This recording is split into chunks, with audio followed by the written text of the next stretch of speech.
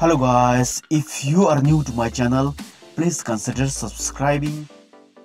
To change the username of your Facebook page, just open your page and click here on About tab.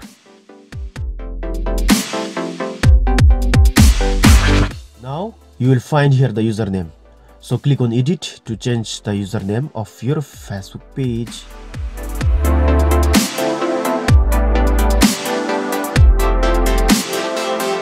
I'm changing here my username from Ikuras 2012 to Ikuras 12.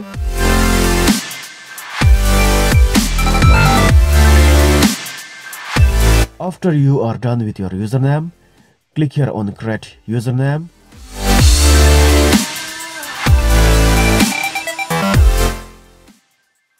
If we reload this page, we cannot access our page because we have changed the username.